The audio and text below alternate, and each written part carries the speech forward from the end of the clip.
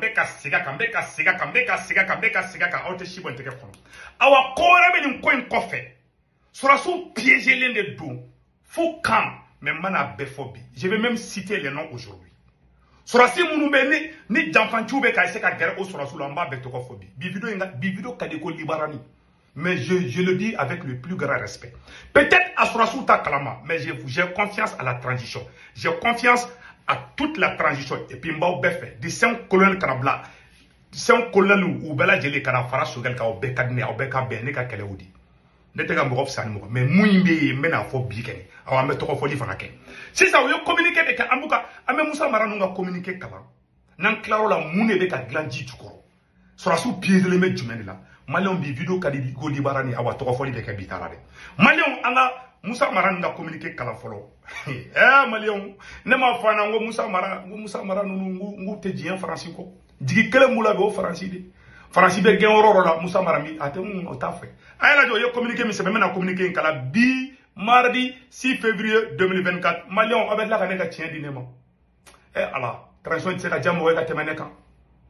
dɔw ko segu tunkara e eh, cɛ sisanama i ka kuma an tɛ ka faamuya dɛ kɔni segu tunkara ma bila transition contre la ni ne ye transition kɛlɛ ne ye n yɛrɛ de kɛlɛ ne yɛrɛ de ye transition in ye n'i ko ko transition i ko segu tunkara e mɔgɔ bɛ fɛn dilan ko kɛlɛya n ko transition ye ne di ne ye ko transition ye ne ye de a a yɔrɔ a fɛn a gɛ a ko gɛlɛn ma kɛ transition kɔnɔ ko ne ma y'a la a tɛ yen transition ye ne ni filanan de ye transition bi yɔrɔ ne bɛ bi awa a tɛ bi fana k'a sara ala la n t'a kɛ asi min ka dɔn ye n b'a la a tɛna dɔn ye mais je fais pour le les maliens an ka nin kuma lamɛn u ye mun de sɛbɛn a yɔrɔ la ko communiquer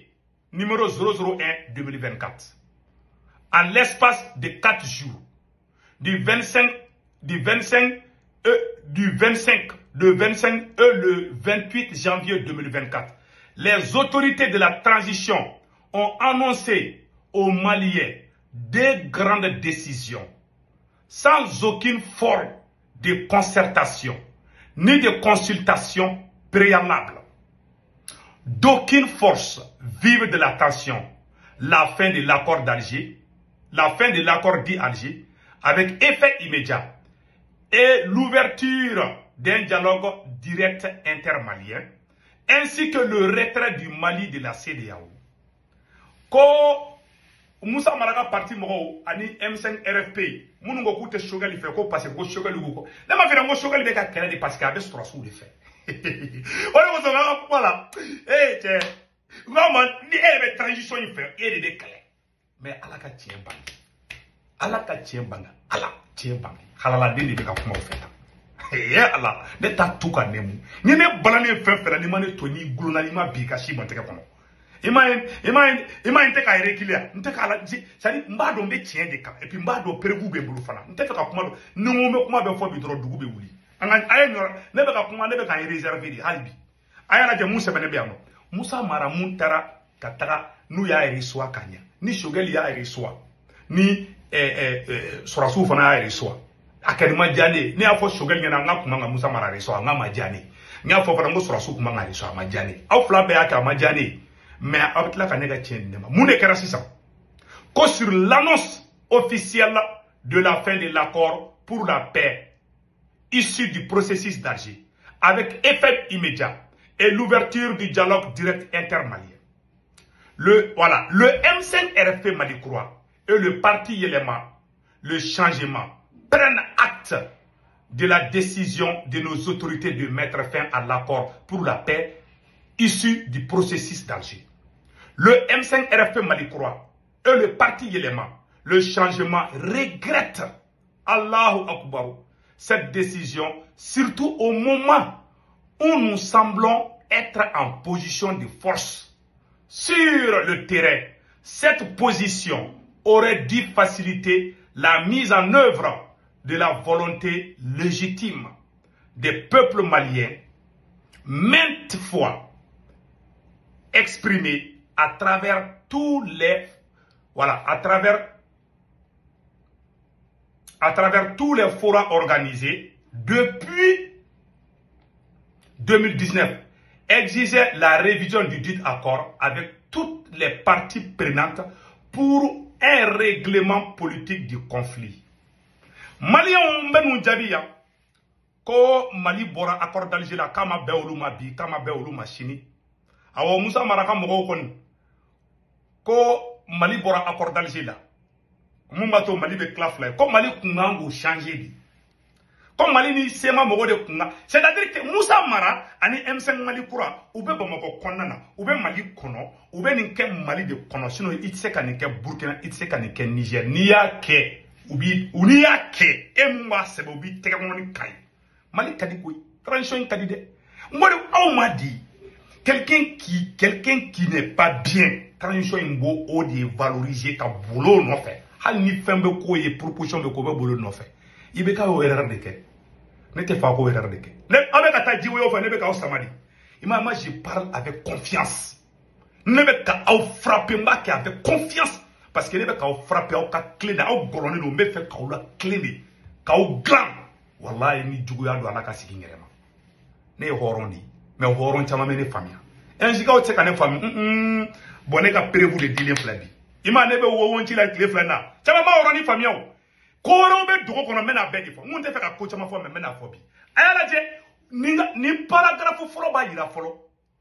u ye kuma min fɔ yan u ye mali jalaki di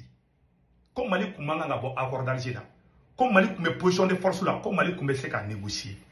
a simi e, nin yɔrɔ la wake colonel ismail e, general ismail wake n ka garde b'u bɛ yen ala ka barika don i la ni nin sema mɔgɔw de ye akɔri ban ka tɛ kɛ nin sema mɔgɔw de an ka mɔgɔw minɛ ka sariya bulu kan akɔri y'o fɔ wa mun na aw musa mara c'est à dire que nin mɔnɛ bɛ nin n bɛ yɛlɛ mɔnɛ bɛ na la ne sɔrɔdasiw la n bɛ yɛlɛ de quoi et puis o bɛ ka nin kɛ tilankɛni kɔ i b'a ye politisiyɛnw t'u sɔbɛ dɔn quoi c'est à dire tellement u banna sɔrɔdasi ninnu ye o de parce que o de kosɔn aw ye dɔw aw ye force di minnu ma olu ni ninnu de ye kelen ye aw ye minnu k'aw kɔnɔfɔ ɲɔgɔn ye aw ye minnu k'aw ka conseiller ye à travers les relations familiales o de bɛ k'aw coron tan i m'a ye manamana ko bɛ kɛ mali kɔnɔ a tɛ kɛ burukina a tɛ kɛ niger parce que vous êtes trop rattaché aux relations aux amitiés jamana tɛ jɔ tan et c'est la vérité a ye ni ala n'a kira cɛ ninnu ka bɔ ka aw jalaki ee masa jubaru cybercriminalité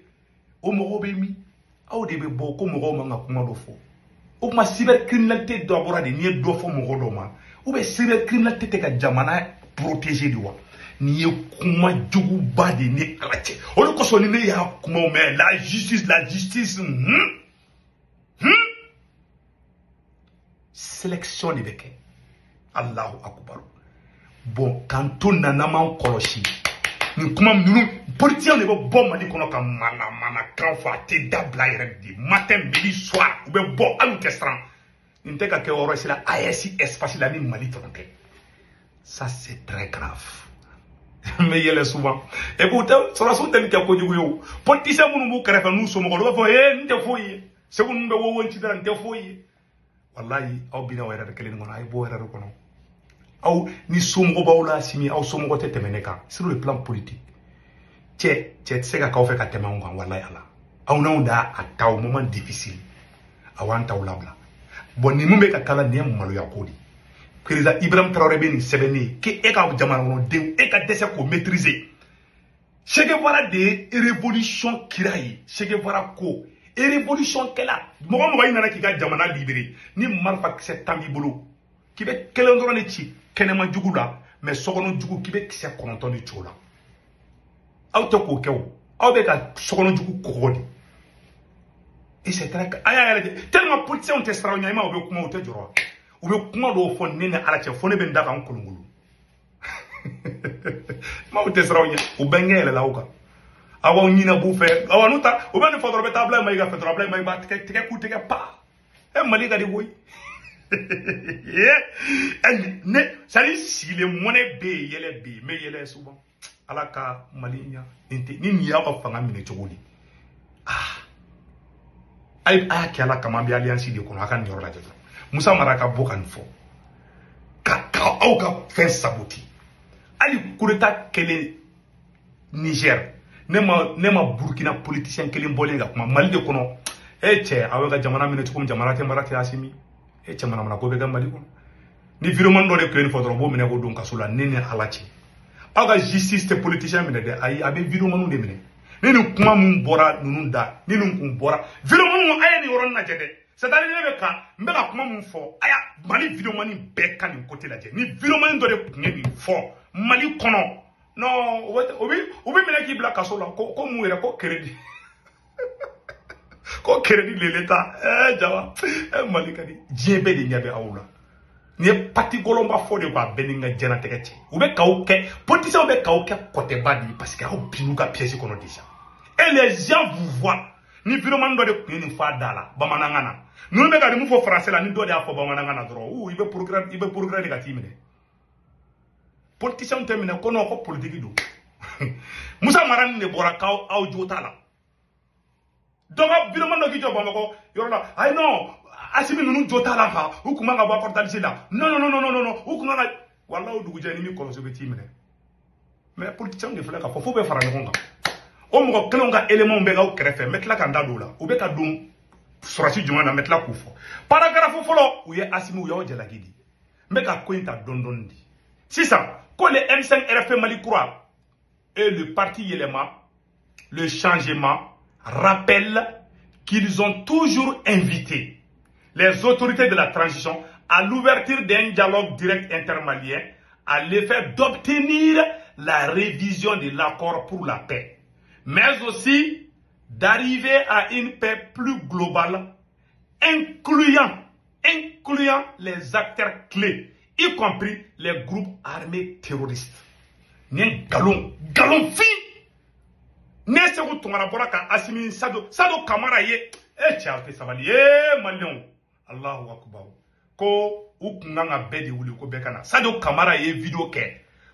confrère égaré ou k'u ka na a don ne segu tungara video kɛ n ko sake kana kuma ka fɔ mali autorité mɔgɔw an b'aw fo walayi u bɛ ka nkalon de tigɛ c'est faux c'est pas vrai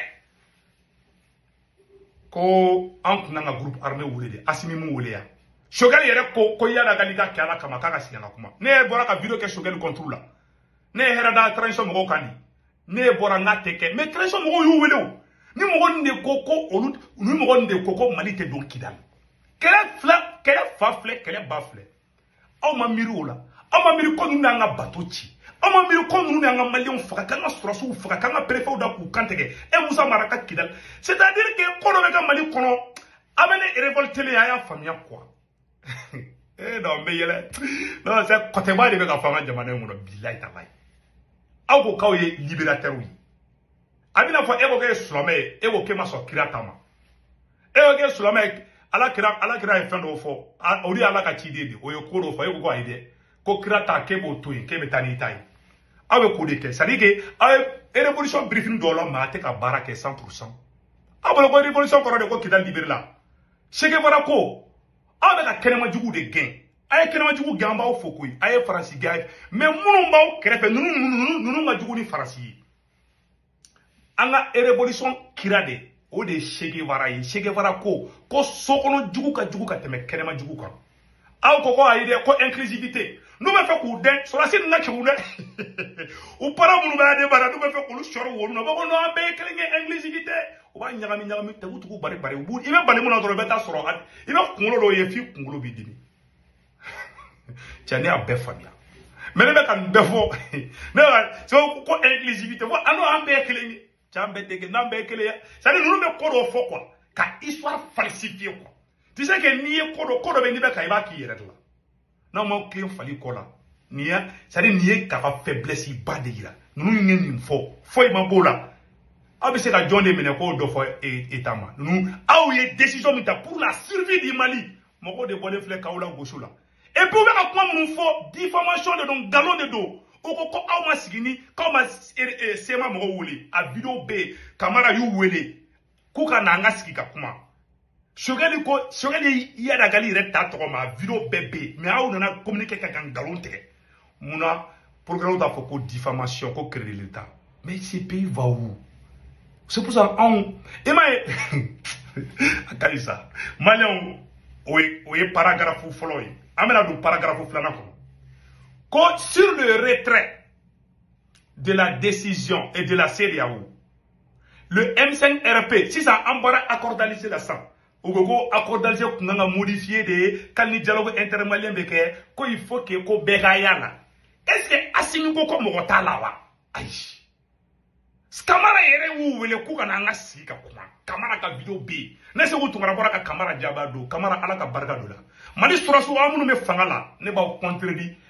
mɛ aw ka di ne ye ko bɔnmani kalama cɛ cɛ tɛ aw transition mɔgɔw fɛ ne segu tugara t'o fɛ non n t'o kɛ togi kɛ je vous aime je sais que je suis honnête de ce que j'ai dit c'est pour ça n k'aw ma aw ma aw ma fɛn ye hali bi mɛ aw bɛna n'aw ma bɔ zie kɔnɔ aw bɛ n bɛ tila ka don sɛgɛrɛ la yɛ bi video ka di ha bi video ka di sa maliyɛnw ko ayi ko olu ko ko sariya kuma kuma fɔ kuwa paragarafu eh, kelen fila saba o ye paragarafu saba fɛn fɛn ko a bɛɛ nkalon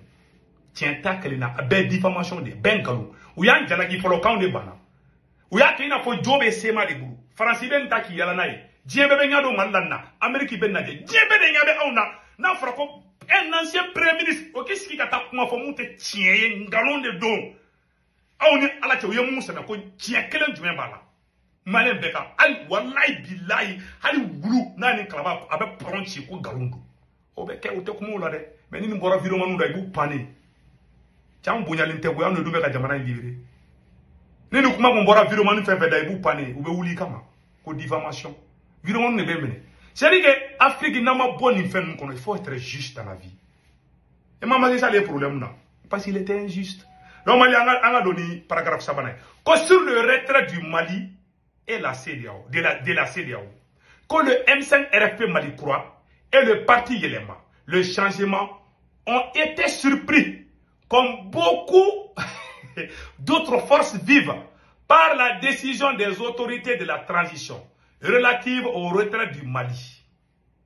de la CDAO avec effet immédiat.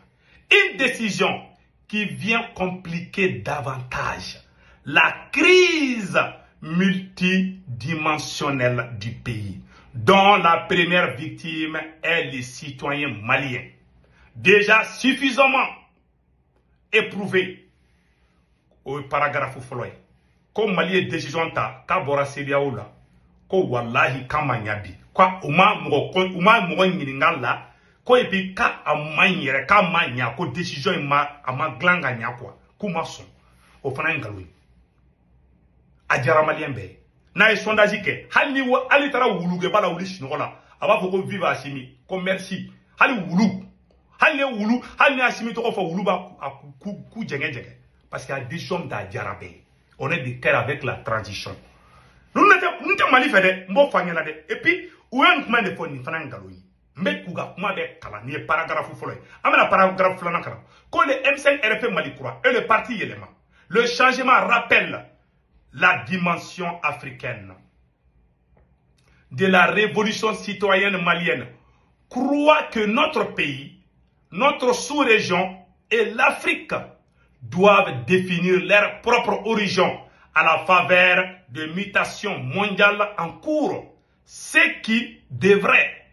justifier une initiative force de refondation de la CdaO et non pas notre divorce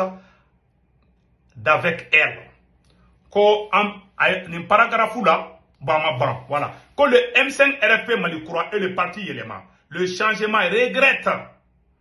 cette décision et interpelle les autorités maliennes sur les fâcheuses conséquences économiques,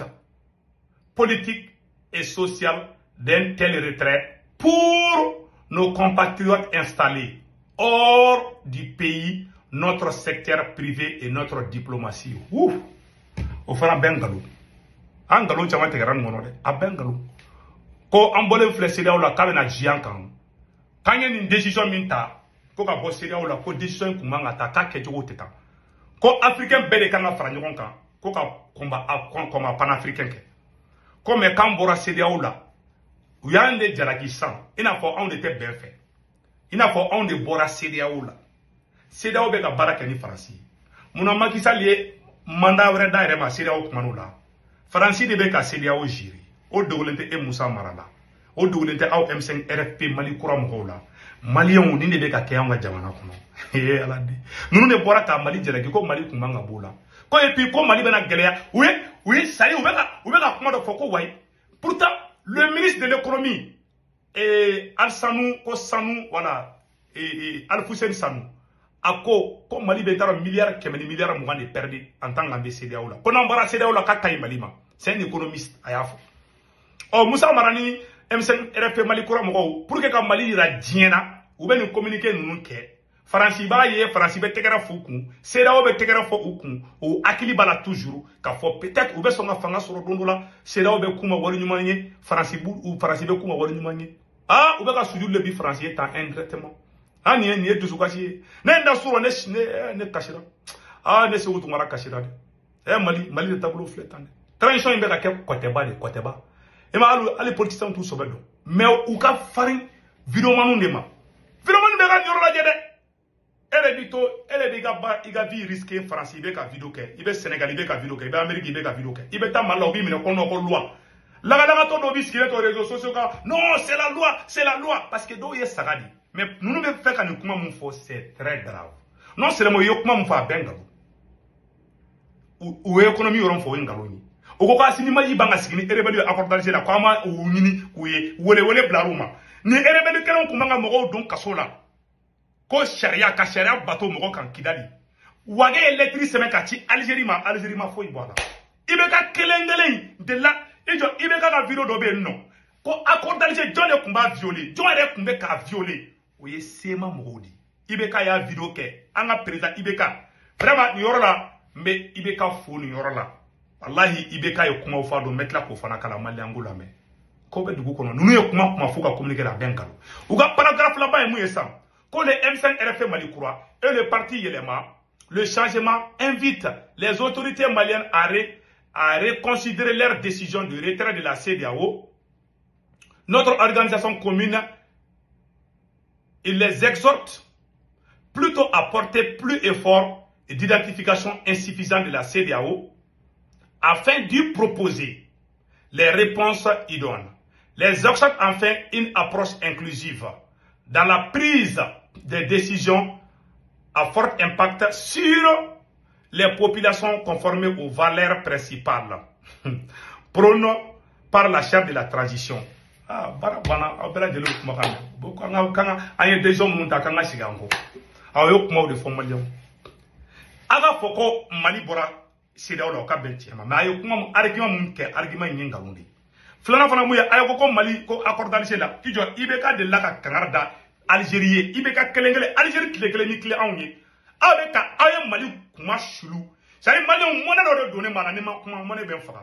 bɔn ninnu ye kuma min fɔ nin bɛ algérie tɔ ɲa don mali la nin ye ka mali c'est à dire que nin ye k'i ka pays exposé de ye ça c'est pour exposer le mali voilà ce qui se passe voilà des gens qui font ça foyi tɛ b'o la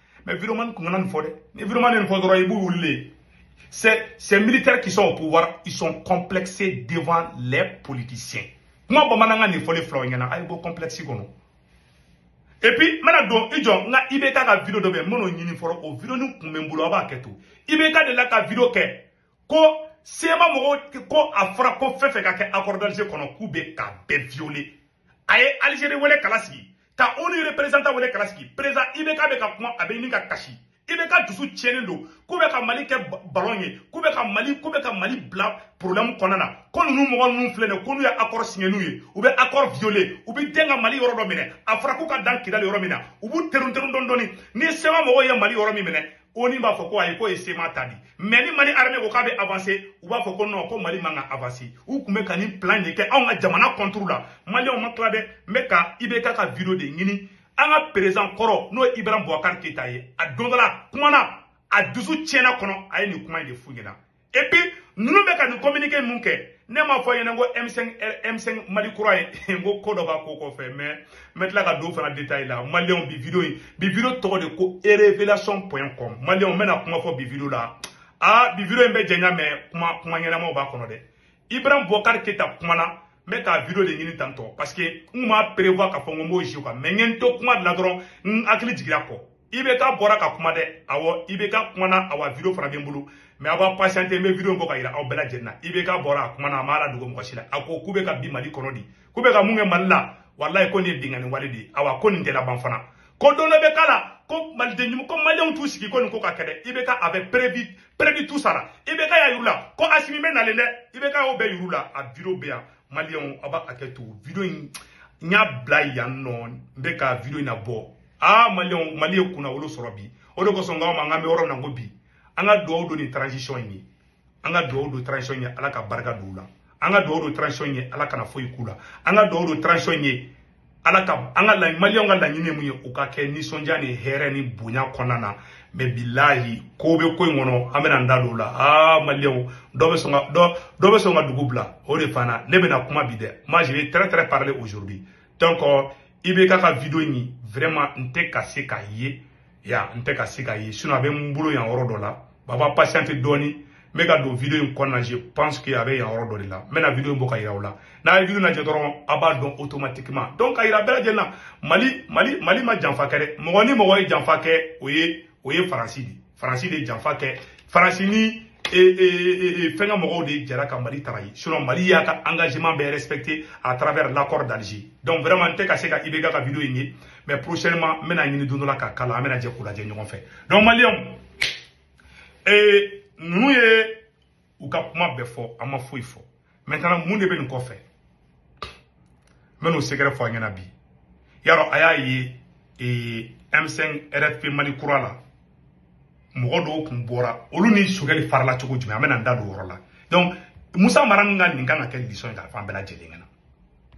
donc président ibk delila ka bɔ k'i plɛɲe k'u bɛ ka bin mali kɔnɔ accordage ko in na musa mara ninnu ye kumaba de fɔ bi dɛ mali autorité mɔgɔw burukina ɲabaw la nigɛr ɲabaw la nin bɛ ka kɛ mali de kɔnɔ dɛ nin bɛ ka kɛ mali de kɔnɔ dɛ a y'a a ye jateminɛ kɛ dɔrɔn an bɛ aes de la bɛɛ ko k'u bɛ fɛ ka kɛ aw de ye minnu ye aw kopiye aw kana to u ka tɛmɛ aw la sinɔn aw b'anw faga ni jigilatigɛ ye mali virumani bɛɛ ɲɛ bɛ nin na bi bɛɛ ɲɛ b'a la bi musa mara ye kuma mun fɔ n'a kun bɔra anw virumani de da walahi kun b'a minɛ k'an don kaso la diɲɛ lebu tɛ mun tɛ da anw kan malgré k'an bɛ transition dɛmɛ mɛ k'a fɔ transition ɲɛmɔgɔ ɲɛna aw kana sɔn nin ko fasugu ka kɛ et puis n bɛ conseil kelen di asimi ma kana élection organiser dɛ ayi makisal ye mun kɛ ne nin ye ka nin ye hɛrɛba de mali ma walayi jɔn bɛ se ka na e ɲininka k'i ka élection kɛ bilen mais a ye siya a ka sokɔnɔna nettoyer cogo la n bɛ kuma kelen fɔ maliyɛn bɛɛ ye seere ye k'a fɔ président asimi ɲɛna k'a fɔ président asimi ɲɛna a n'a ka ekipu bɛɛ lajɛlen ɲɛna nin ko minnu bɛ musa mara ninnu bɔra ka nin ko min kɛ nin ye nin ye ka mali expose ka mali lagosi ka diɲɛ bɛɛ ɲɛ don mali la ka yira ko mali den dɔw bɛ olu ma sɔn mali bolo nin bɛ juguw tɔ ɲɛ don an na de nin b'ale terrorisiw ɲɛ don an na parce que o ko k'an ka négocier ni terrorisiw ye nin ye ka kumada de di sema ma alors que an ye sema bati communication bɛɛ la musa mara ni musa mara ni m5 mali kura mɔgɔw ye kuma min fɔ nin ye c'est très très grave ŋɛni bɛ mun fɔ asimi aw ɲɛna jamanajɔ kɔrɔ tɛ ka faransi gɛn jamanajɔ kɔrɔ tɛ ka ɲɛ an bɔra kɔrɔdalize la a bɛna fɔ e bɛ ka du jɔ du jɔ moribo keta de la ka kuma fɔ dɛ moribo keta ko ko n'i bɛ du jɔ ko n'i bɛ du jɔ n'i bɛ jamana jɔ i bɛ kuma gwa de kan gwa a a vocali bɛ a mɛna a k'a la maliyɛn den ɲuman bɛɛ lajɛlen k'a lamɛn moribo keyita y'a fɔ le premier président du mali moribo keyita y'a fɔ ko n'i bɛ du jɔ i bɛ gwa ani adamadenw kan perezan kan ka kɛ i n'a fɔ wajulukɛla de jamana kɔnɔdenw ma n bɛ segin kuma in kan n'i kɛra perezan ye e de kan ka k'i n'a fɔ wajulukɛla i m'a ye moribo keyita ka kuma kɔrɔ dɔw bɛ yen adamadenya taabolo la an bɛ tilen k'a la mɛ a b'an dɛmɛ an ka adamadenya taabolo la aw kan ka kɛ ten de ma aw nana dɔn ko inclusivité zonkɔrɔ minnu bɛ yen ko non an bɛɛ de ye kelen ye c'est à dire aw ye histoire falsifié quoi aw aw y'a a ye histoire bɛɛ falsifié a bɛna fɔ e ko ko kuranɛ e ko e ko ko ala kira ye mun fɔ ko non k'e bɛ ala fɛ mais kira ye mun fɔ ko non k'an k'o yɔrɔ to yen k'e bɛ taa n'i ka kuma ta ye e révolution kiraw o ye Che Guevara ni Malcolm X ninnu de ye Malcolm X ko Malcolm X y'a fɔ kuma la ko si votre révolution n'est pas contre le système ça veut dire que cette révolution est une manipulation aw nana minnu y'a Mali faga an y'aw wolo de la maliyɛnw tɛ minnu faga aw bɛ ka na n'u mɔgɔ kelenw de awa o de n'i y'a ye bi Musa Mara kariyara ka nin k'aw la bi ninnu bɛ ka kara parce que u ɲɛ b'u ɲɔgɔnna sugu la u kɛrɛfɛ puis u bɛ nin fɔ tuguni u bɛ tila ka taga yɛlɛ aw fɛ u n'aw bɛ sigi ka baro kɛ jamana tɛ jɔ ten jamana i bɛ adamadenw bila sira ɲuman de kan k'i e yɛrɛ min ye ɲɛmɔgɔ ye e yɛrɛ k'i tilen o ye kelen ye filanan fana tuguni i ka jamanakɔnɔdenw i k'o fara ɲɔgɔn kan i ka jamanakɔnɔdenw kala perezan o perezan b'i ka jamana fɛ i b'i ka jamanadenw kala k'i dɛmɛbagaw kala ka bɛɛ tɛgɛ di ɲɔgɔn ma ka bɛɛ ɲɛ yira ɲɔgɔn na ka bɛɛ kanu don ɲɔgɔn na o de ye jamana jɔkɔ minnu bɛ kanuko fɛ dɛ minnu tɛ kanuko fɛ kɔnɔlu fɛ dɛ mɛ i bɛ se ka musalahani kɛ mɛ kana a fɔ ko exclusivité ka tila minnu ye kɛlɛ kɛ ko parce que aw ka exclusivité c'est pas clair an bɛɛ de kelen ye exclusivité exclusivité tɛ lahara ko ye n'i ye a bɛ kuranɛ kɔnɔ de lahara ko ye tiɲɛ de hali bibulu kɔnɔ jahanama jahanama de ye n'i ye ɲuman kɛ i bɛ taa ja i bɛ taa arijana kɔnɔ n'i ye juguman kɛ i bɛ taa jahanama kɔnɔ ala ala ye minnu fɔ ani ala ka mandenw ye minnu fɔ asimi aw ko k'aw ayi k'aw bangew bɛɛ la maa bɛ ko de kɛ o aw ko ko aw ko de minnu man ɲi yɛrɛ de olu olu de b'aw kɛrɛfɛ jusqu'à présent o de bɛ ka to nin ko in bɛ ka kɛ o de to manamana ko bɛ kɛ mali kɔnɔ kuma bɛɛ ma y'aw kunkolo kalalen bɛɛ a ye bɔn nin lojigi kɔnɔ o ka di ne ye kojugu et puis janfa dɔ de bɛ kala bɛn aw kɔnturu la n y'a fɔ depuis video daminɛ la n ko janfaba dɔ de bɛ kala bɛn transition kɔnturu la ni mɔgɔ ninnu karila cogo jumɛn u karila cogo jumɛn ka na aw ma mɛ yanni an ka don o la n y'a fɔ aw ɲɛna n ko n'i bɛ jamana jɔ jamana bɛ jɔ ni hakilinata dɔw di jamana jɔ kɔrɔ tɛ ka ju kɔfɛ jugu gɛn sɛgɛbara ko ko n'i bɛ fɛ k'i ka jamana jɔ sokɔnɔ jugu de ka jugu ka tɛmɛ kɛnɛma juguw kan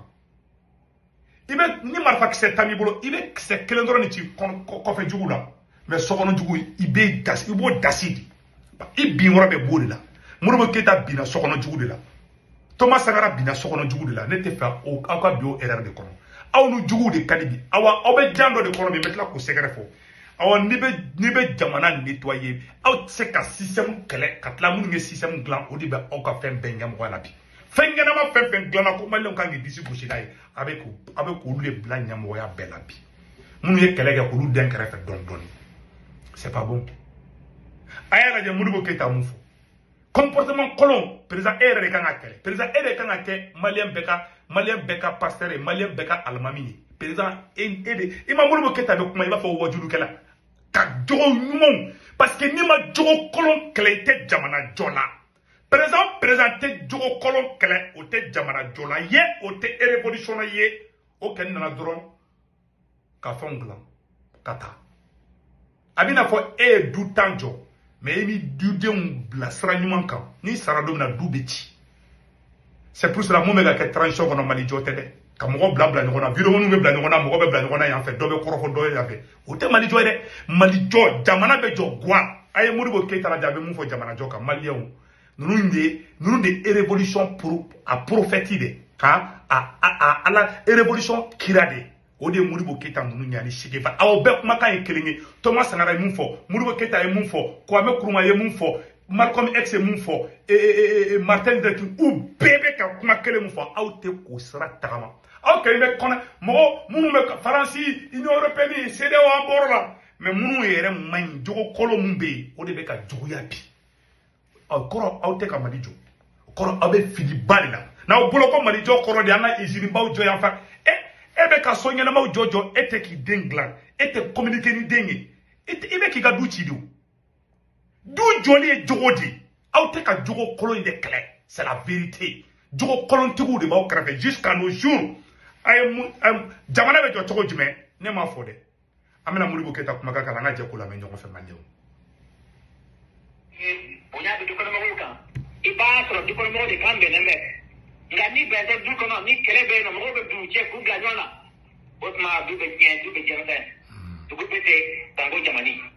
o tuma man kuma min banna o kuma min banna n'an b'a fɛ ka sabati a ka mɛn fɛn na dɔ de ka fara a kan o tuma an ka dɔ fara an ka cɛsiri kan faso jɔli la faso dun a sinsinnen bɛ mun kan jamani o dugu o a bɛɛ sinsinnen bɛ mun kan guwa du an hakili b'a la an ka maakɔrɔbaw y'a fɔ an ye diinɛ daminɛ tuma awa dugu caman bɛ yen nɔ ala y'u halaki u halakira mun na tulonkɛ de tun cayara yen nɔ fo mɔgɔw ɲinana sɔbɛ kɔ fo mɔgɔw ɲinana alako kɔ o tuma n'an b'a fɛ an ka jamana tɔgɔ duman min b'a la o ka to a la an ka taa yɛrɛ la dɛ an ka se an farisogo la n'an ma taa yɛrɛ la n'an ma taa an farisogo la ni musow ye wale cɛw dɔ kɛ k'a ɲini u cɛw kɔ ni cɛw ye ɲana musow ka ka wale musow dɔ kɛ o tuma tulonkɛ n'a barika sɔrɔ an ka jamana kan furu n'a nagasi du n'a nana di den kolo na wolo o tuma jamana bɛ sɛgɛn kɔ o tuma ala ma kisi o ma amina a kan k'a dɔn a y'a dɔn a bɛ ka kuma moribo keyita bɛ ka kuma jogo de kan tan a m'a fɔ k'a ye taa farasi gɛn dɛ a m'a fɔ ko a ye taga siraba jɔ yan fɛ dɛ moribo keyita ko ko jamana jɔ a m'a fɔ k'a ka taa izinibaw jɔ dɛ moribo keyita k'o fɔ dɛ moribo keyita bɛ ka kuma adamaden ka comportement de kan ni dutigi o dutigi ma se ka ka duden ka comportement changer k'u bɛ ko c'est à dire que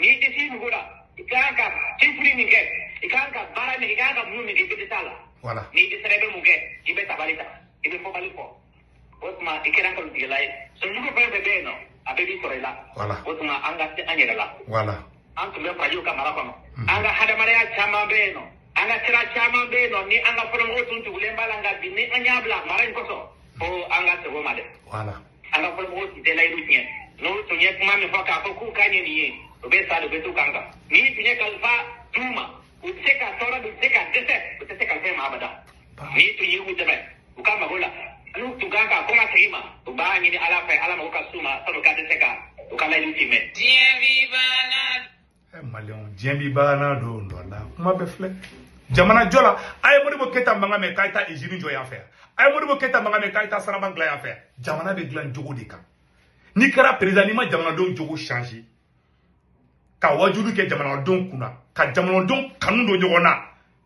n'i m'o kɛ kɔrɔ k'a fɔ k'i bɛ ka politiki de kɛ i tɛ jamana jɔ la voilà ce que ne ka kɔnba ye nin de awa iran jɔra tan de n'i bɛ du dilan a y'a bɛɛ fɔ dɛ moribo keyita y'a bɛɛ fɔ a y'a bɛɛ fɔ moribo keyita ma inclusivité ko kuma foyi i n'a fɔ asimi min bɛ ka mun fɔ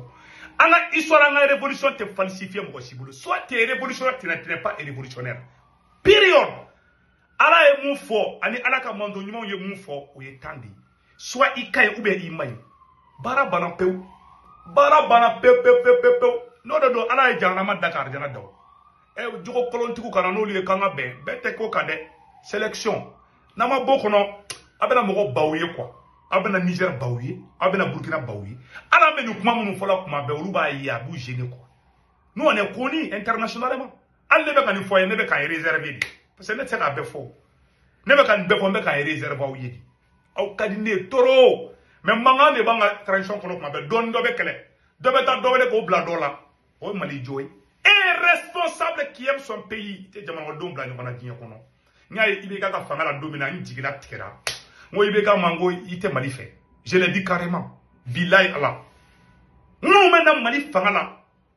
u yɛrɛ ka kan kɔnɔ u bɛ bɛɛ bila ɲɔgɔn na malijɔ tɛ moribo keyita fɔ jamanajɔ tɛ ka taa sirabadaba dilan jamanajɔ tɛ ka taa izinibaw jɔ n'i ye iziniw jɔ ni mɔgɔw jogo man ɲi u bɛ izini ci ni mɔgɔw jogo man ɲi a ye mɔgɔw jogo de dilan asime a ye mɔgɔninfinw jogow dilan a ka jogo ɲumantigiw bila devan na jamanajɔ la u ka mɔgɔw la sensibiliser an ka bɔ achat de conscience kɔnɔ et puis tɛkiniki kuran dɔ bɛ yen nɔ u bɛ k'o kɛ u bɛ k'aw don o la k'a fɔ ko jama bɛ karisa de u bɛ ka fɔlɔ sadi ke politisiɛnw ka tegendigi bɛɛ aw bɛ k'a bɛɛ ta fotokopi e na ɛ mɛna don a bɛɛ lajɛlen la yan'an ka don la fɔlɔ e e trahison jumɛn dɔ de bɛ ka kɛ n y'a fɔ an na n ko m5 rfp kɔnɔna na a y'a ye san m5 mun bɔra k'u tɛ tugu faso jɔ m5 kɔ an b'a ye o ni musa mara bolo bɛ ɲɔgɔn bolo u bɛ ka mali image lanɔgɔ bɔn m5 kura in sogɛlen dɔw gɛn ka bɔ primatiri la parce que gon dɔw bɛ t'u nɔfɛ u ka finiw n'u ka e cɛ ko in ko in tɛ ka fɔ ɲɛfɔ la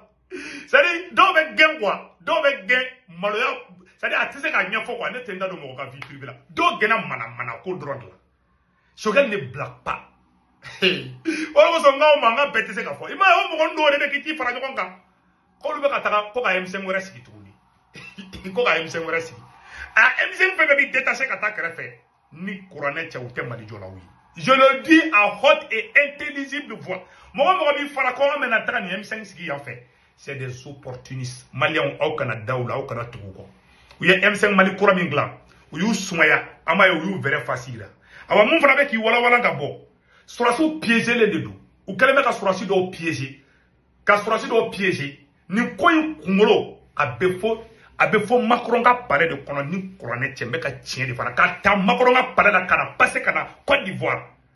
dɔw taara dɔw taara dɔw taara cote d'ivoire mun tɛmɛna n b'o kalama u nana donc wari bɛ ka sirikile dɛ wari de bɛ ka sirikile mɛ ne tɛ n da don fɛn na hee ala ko bɛ nin ko in cɔfɛ o mɔgɔ dɔw de bɛ na u bɛ sɔrɔsi dɔw kunkolo ni salo salo u bɛ sɔrɔsi dɔw u bɛ u bɛ fɛ ka dɔn sɔrɔsi fila de la n t'a dɔn n'u ni n'u ni eh, abulayi mayiga ye ɲɔgɔn ye dɛ u bɛɛ bɛ fɛ k'i fara ɲɔgɔn kan de comme abulayi mayiga de bɛ ministre de l'administration territoriale la ale de bɛ parti politikiw ka fɛn gérer donc k'a fɔ abulayi mayiga ni mouvement kura fɛn fɛn bɔra nin wagati la k'a bɔra mouvement wɛrɛ la nin transition kelen kɔnɔ c'est des opportunistes je répète encore abulayi mayiga n'i ye ninnu reçoit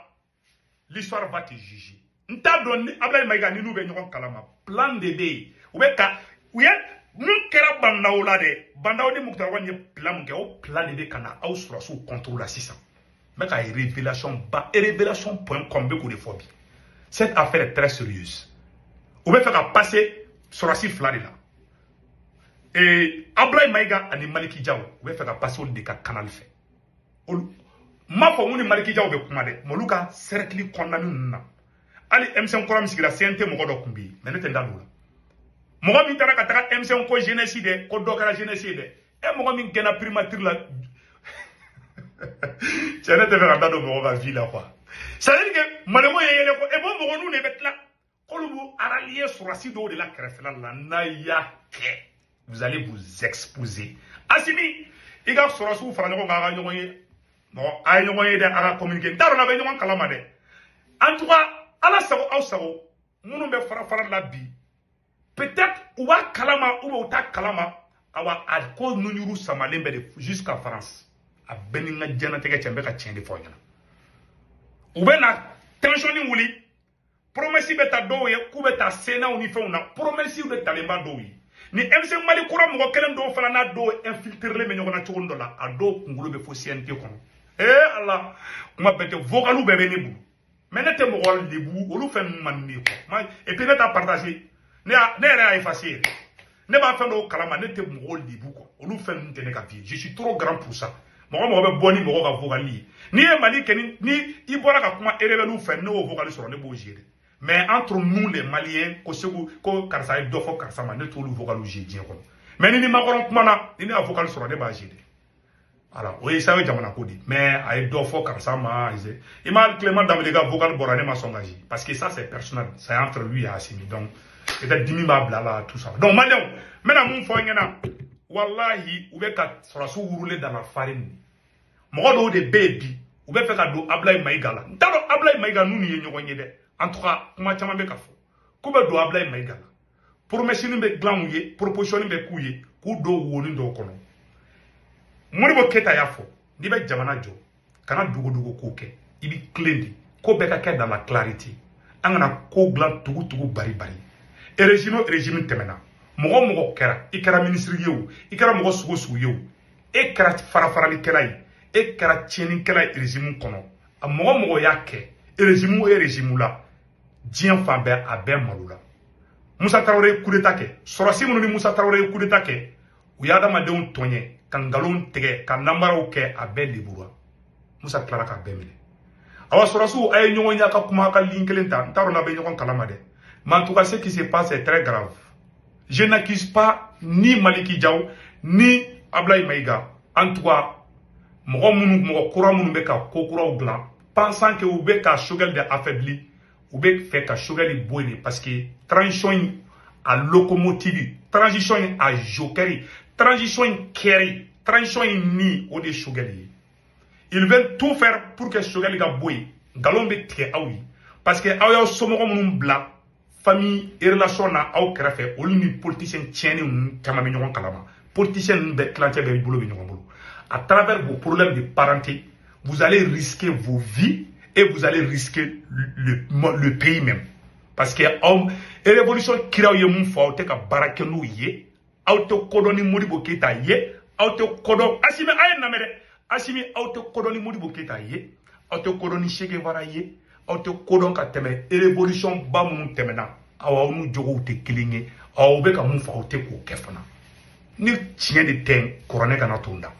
c'est la vérité vous voulez falsifier l'histoire mais a bɛ ka dafiraw de da la aw bɛ ka taa jiwoyo de fɛ ne de bɛ k'aw sama ka na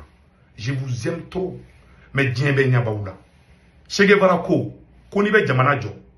segevara m'a fɔ k'a ka taga siraba dilan dɛ segevara m'a fɔ k'a ka taga iziniw dilan dɛ segevara m'a fɔ k'a ka taga fɛngɛw sa dɛ segevara ko n'i bɛ jamana dilan jamana ye jogo de ye o mɔgɔ tɛ k'i révolutionnaire ka tɛmɛ segevara kan segevara ko ko ni marifakisɛ tan b'i bolo k'i bɛ kisɛ kɔnɔntɔn de ci i ka sokɔnɔ juguw la mɔgɔ kolonw dégage ka bɔ yen ka na ni mɔgɔ ɲumanw ye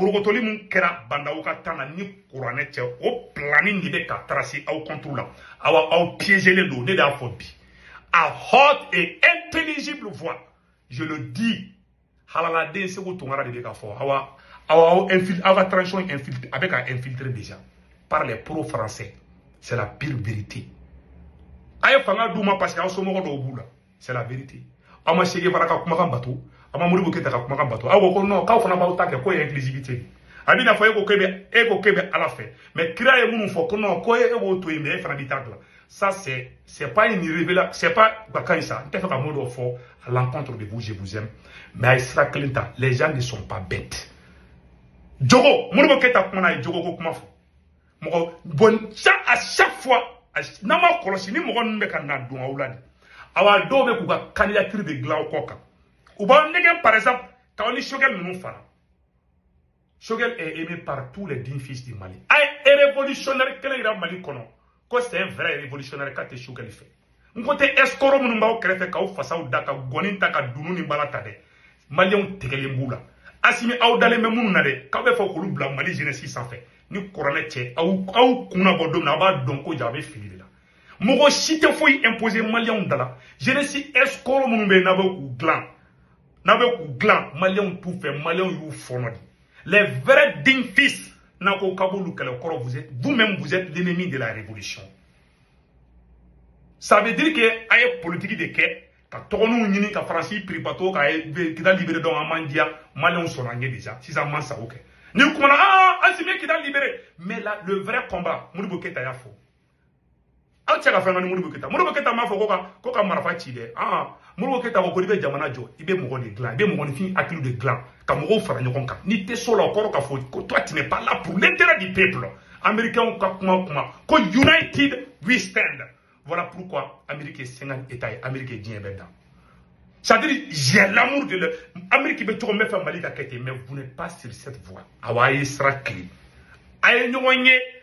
a ka kuma abulayi mayiga fɛ a ka kuma malikijaw fɛ malikijaw kuma fɛ mɛ abulayi mayiga ka kote de ka gɛlɛn ne ma u ka gɛlɛn ne ma musa mara ye mun fɔ a bɛɛ lajɛlen y'a ye bɔn nin bɛ mɔgɔw a bɛ mɔgɔw dimi kuwa aw kana ere aw kana fɔ dɔrɔn bɛɛ b'an fɛ an b'an sago kɛ a ye mɔgɔw kalan a ye a ye mɔgɔ jogo ɲuman n'i bɛ jamana jɔ i bɛ jogo ɲuman tigi de caya olu fana bɛ mɔgɔ tɔw labɛn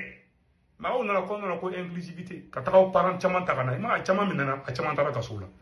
c'est des erreurs qu'il faut éviter ceux qui sont bien aw ye kuruta kɛ don fɔlɔfɔlɔ min na n'aw tun ye jogo ɲumantigiw fara walahi hali bandaw ko kuma tun tɛ don a la i ma y'a oblige ka bandaw bɔ yen a y'a ɲagami cogo cogo a bɛ tila ka kɛ malo ye a ye b'o zie mɔgɔ awa emisɛn mɔgɔ minnu bɛ ka gɛrɛ aw la bi ni promesi kumaniw bɛ sen na an b'aw kɛ tan dɔw yɛrɛ bɛ parce que système jumɛn kɛlen bɛ bi an on va tout couper mɔgɔ minnu b'aw fɛ bi aw t'olu de fɛ ne ni ala cɛ mɔgɔ tɛ se ka k'aw fɛ ka tɛmɛ ne kan i m'a ye ne bɛ kuma aw fɛ avec confiance hali n tɛ yɛrɛ yɛrɛ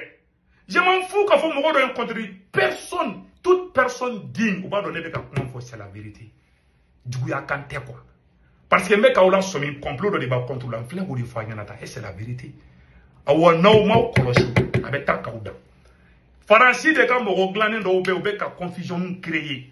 k'aw parce que u b'a aw tɛ politiki dɔn aw y'o ye aw bɛ erreur la aw b'a ɲagami anw b'a dilan aw b'a ɲagami anw b'a dilan et tout le monde est unanime là-dessus aw kana to burukinabow ka baw ye aw kana to nigérienw ka baw ye ne bɛ ka kuma u dalen bɛ ne la ye ko kabako ne na ɲɔgɔnna si caman de bɛ yen et tout le monde sait que je suis digne ne bɛ siran fɛn kelen min kan n dari la ka tila ka n ban n'i ye a kana sɔn ka k'a ni mɔgɔ cɛ a y'a ye bi problème bɛ yen bi musa mara nin ye kuma min fɔ a y'a ye musa mara ni m5 mali kura o m5 mali kura kelen mɔgɔ dɔw de bɔr'o la ko fɔ sogɛli ka bɔ sɔrɔsiw kɔ kɛlɛ o kɛlɛ bɛ sogɛli nɔfɛ bi parce que a bɛ transition fɛ kɛlɛ o kɛlɛ bɛ sogɛli nɔfɛ parce que a bɛ fɛ transition ka fara ɲɔgɔn kan eh, aw tɛ fɔ ka kɛ aw ni ala cɛ don min na bandaw b'a kɛlɛ don min na jɔn y'aw sofi ne sogɛli bɛli ni sɛribo ala ye bokum dunu anw de bɛɛ wuli an ye umar umar mariko janfa ka tugu aw kɔ an jumɛn bɛ ye bi mun na aw ka di 100 pourcent a tɛ yen anw de ye acteurs principaux ye mun y'a kɛ